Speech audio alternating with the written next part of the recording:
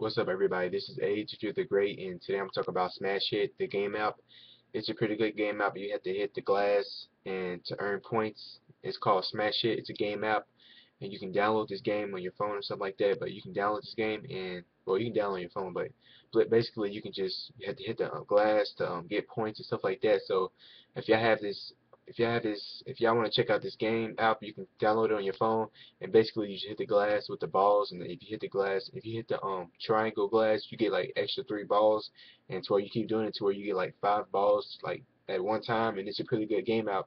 I have it, so if y'all have a higher score than me or anything like that, y'all can like comment on my videos, subscribe, or like my videos, and basically that's about it and just be just basically playing Smash Hit, and it's it's just a really good game. I I really like it. So if y'all have Smash Hit the game too, if y'all can just y'all tell me because I got the game too and I really like it. So if y'all anything, if y'all want to hit me up, comment, subscribe, anything like that, y'all just let me know and we can like you know I'm saying send me your score or anything like that. But basically, I just really like the game. So you know I'm saying you download the app game, but basically that's really what I'm talking about. So comment, subscribe, like my videos. But this is A to the Great, and I am out.